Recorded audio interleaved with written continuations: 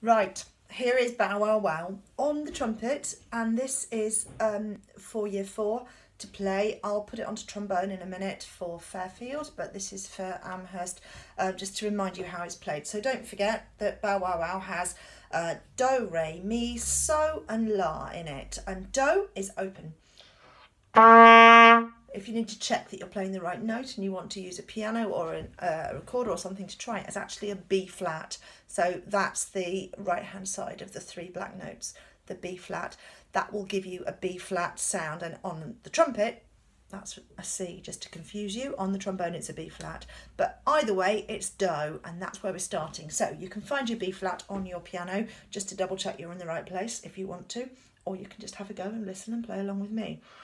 So our do is open. Our re is valves one and three, not the middle one, but the outside two. Our mi is first and second valve, not the one with your little finger, your smallest finger nearest the bell, but the ones nearest to your mouth. Okay, one and two. Fa is just one. You don't need that for this song, but I'll show you anyway, just to remind you. Open for so. And one and two, just the same as mi for la.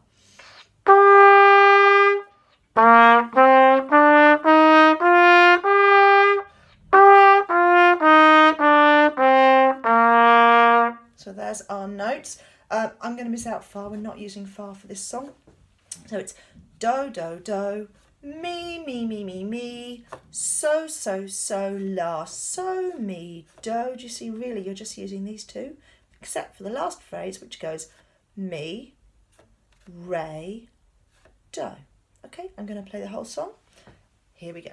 One, two, three, four.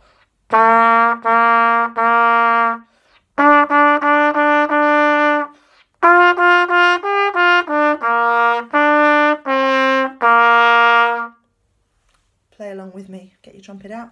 If you play with the trombone, the pitch will sound the same. So you could join in with the trombone if you want, or you can watch the trombone video.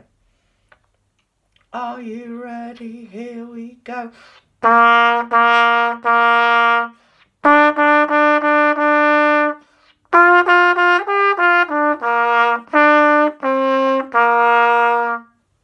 Okay, I'm going to press pause and I'm going to get the trombone out.